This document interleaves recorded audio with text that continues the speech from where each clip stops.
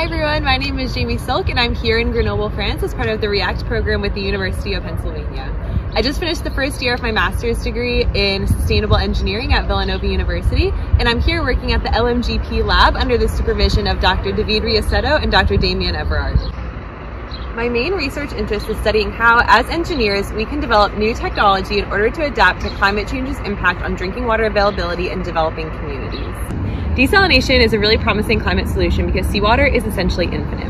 The problem with the current desalination process using reverse osmosis is that it's incredibly energy intensive and the membrane has to be replaced really often, making it not a very environmentally sustainable option. Here in Grenoble, I'm studying the synthesis of Janus membranes with the aim of making a more efficient desalination process to make seawater suitable for human consumption.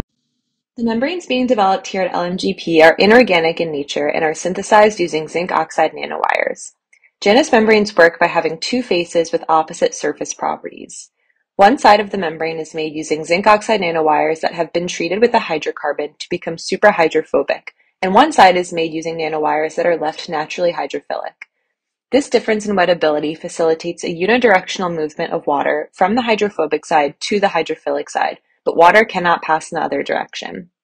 There are several advantages to using these inorganic Janus membranes for desalination as opposed to traditional reverse osmosis desalination membranes. First, these membranes are extremely efficient with a salt rejection rate of almost 100%.